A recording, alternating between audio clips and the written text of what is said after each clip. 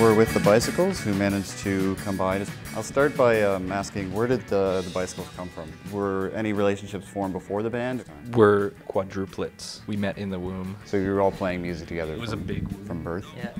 White womb. it's a cream sauce. Womb, that's what womb was- with a view. That's the best. That's what was playing while we were conceived. So uh, I'll, I'll move on from that then.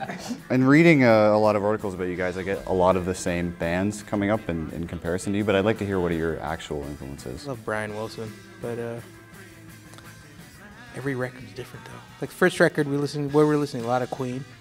You were. I hate Queen. Last night I was listening to Tom T. Hall, who I loved so much. I know you Didn't hold up. No. No, and then I just kind of you kind of forgot about it. I you know? love beer. I- Tom T. Hall. Yeah, it's great, but then it's kind of like, oh, you forget. This actually made a big impression on me.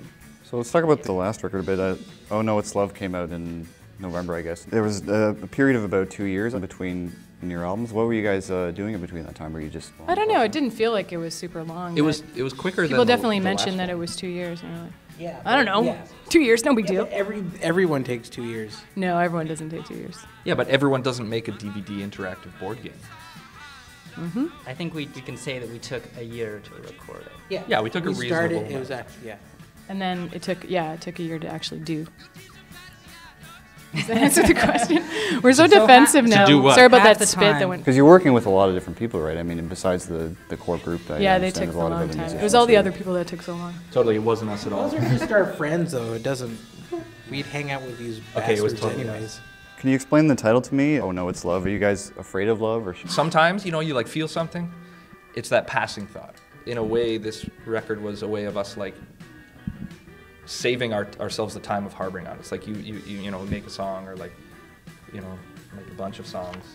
that are all sort of like that. And then all of a sudden, like at the end of the process, we were kind of like, oh yeah, we're not afraid of this at all. But like, it was. So it was a it was a process of discovery, I guess, making a record. Yeah, actually, mm-hmm. sure. I think in the, t- in the time uh, you took to answer that, I started fearing love again. I went back. I'm sorry. What are your future plans? I guess you're still touring. You're still doing shows. Is there anything you want to try that you haven't tried yet? We're afraid of making future plans. yeah. Definitely. We're gonna try doing absolutely nothing, and we're gonna see what happens with that. Something will probably happen either way. Cool. Shit, that. that man. Why bother trying? All right. Thanks, guys.